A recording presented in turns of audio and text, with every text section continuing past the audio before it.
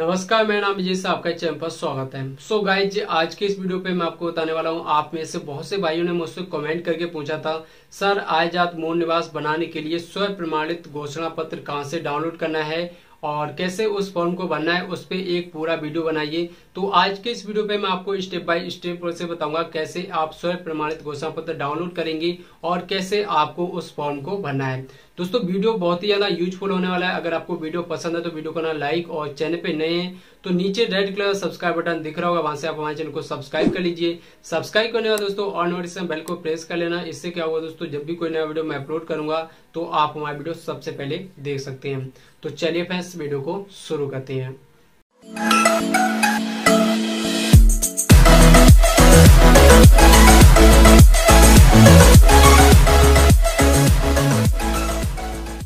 दोस्तों, अगर आप भी आज़ाद मूल निवास बनाने के लिए स्वयं प्रमाणित घोषणा पत्र को डाउनलोड करना चाहते हैं तो इसके लिए आपको एक लिंक डिस्क्रिप्शन में मिलेगा, जिसका नाम है गूगल ड्राइव। जैसे आप उस लिंक पर क्लिक करेंगे तो आपकी डिटेल कुछ इस तरह ओपन हो जाएगी।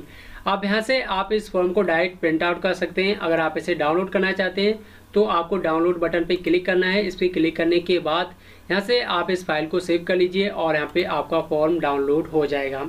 अब मैं आपको बताऊँगा कैसे आपको इस फॉर्म को भरना है। चलिए मैं इसे ओपन कर लेता हूँ। ओपन करने के बाद यहाँ पे सबसे पहले आपको तीनों ऑप्शन मिलते हैं, जात, आय, निवास, ठीक है? अगर आप जात प्रमाण पत्र अप्लाई करें तो यहाँ पे आपको जात पे चेक मार्क लगा देना है। अगर आप आय प्रमाण पत्र बना रहे हैं तो यहाँ पे आपको आय प्रमाण पत्र पे चेक मार्क लगा देना है। अगर आप निवास प्रमाण पत्र बना रहे हैं तो यहाँ पे आपको निवास प्रमाण पत्र पे चेक मार्क लगा देना है। अगर आप तीनों डॉक्यूमेंट बना रहे हैं तो यहाँ पे आपको तीनों डॉक्यूमेंट पे चेक मार्क लगा देना है।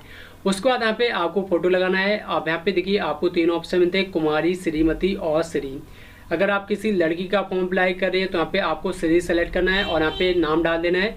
अगर आप किसी औरत का फॉर्म अप्लाई करें तो यहाँ पे आपको श्रीमती सेलेक्ट करना है और यहाँ पे नाम फिल कर देना है। अगर आप किसी आदमी का फॉर्म अप्लाई करें तो यहाँ पे आपको श्री सेलेक्ट करना है और यहाँ पे उनका नाम फिल कर देना है। अगर आप किसी आदमी का फॉर्म अप्लाई करें तो यहाँ पे देखिए, ये जो श्रीमती है और कुमारी है, इनको आपको यहाँ पे कट कर देना है, ठीक है? तो अब यहाँ पे आपको देखिए ऑप्शन मिलते हैं पिता और पति। अगर आप किसी लड़की का फॉर्म अप्लाई करें तो यहाँ पे पिता का नाम डालेंगे। अगर आप किसी औरत का फॉर्म अप्लाई करें तो आप उनके यहाँ पे पति का नाम डालेंगे। अगर आप किसी आदमी का फॉर्म अप्लाई करें तो आप उनके पिता का नाम डालेंगे। उसके बाद यहाँ पे आपको ऑप्शन मिलता है माता का नाम। जो भी माता का नाम है वहाँ पे आप डाल दीजिए। उसके बाद यहाँ पे आपको ऑप्शन मिलता है ग्राम का। यहाँ पे जो भी आपका ग्राम पंचायत का नाम है, वहाँ पे आप डाल दीजिए। उसके बाद यहाँ पे देखिए, मैं आपको बता दूँ, जो भी यहाँ पे मेन टॉपिक है, वो मैं आपको बता रहा हूँ, ठीक है? जो भी यहाँ पे मैं इस फॉर्म में फिल करता हूँ डिटेल वो ही यहाँ पे मैं आपको बता रहा हूँ। और जो अदर डिटेल है, वो आपको फिल करने की ज़रूरत नहीं है। फिर यहाँ पे आपको थाना डाल देना है, जो भी आपका थाना है, और यहाँ पे आपको तहसील का नाम डाल देना है, और यहाँ पे आपको मोहल्ला डाल देना है। अगर आपकी ग्राम पंचायत का नाम अलग है, और आपका मोहल्ला अलग है तो वहाँ पे आप अपनी ग्राम पंचायत का नाम डालेंगे, और यहाँ पे आप अपने मोहल्ला का नाम डालेंगे। अगर आपका ग्राम पंचायत और मोहल्ला एक है तो यहाँ पे आप मोहल्ला की जगह भी अपने ग्राम पंचायत का नाम डाल दीजिए।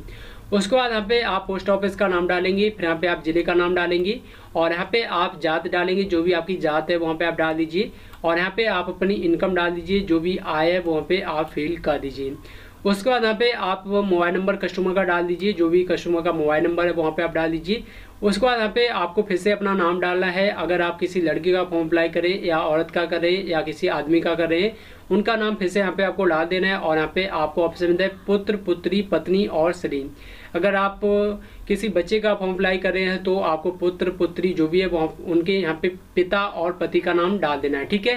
तो यहाँ पे अगर, देखिए यहाँ पे सबसे यहाँ पे मैं आपको समझा देता हूँ, अगर आप किसी बच्चे का या किसी आदमी का फॉर्म अप्लाई कर रहे हैं तो यहाँ पे आपको पुत्र सेलेक्ट कर लेना है और उनके पिता का यहाँ पे नाम डाल देना है, ठीक है? अगर आप किसी औरत का फॉर्म अप्लाई कर रहे हैं तो यहाँ पे आपको पत्नी सेलेक्ट कर लेनी है और उनकी पति का नाम यहाँ पे डाल देना है, ठीक है?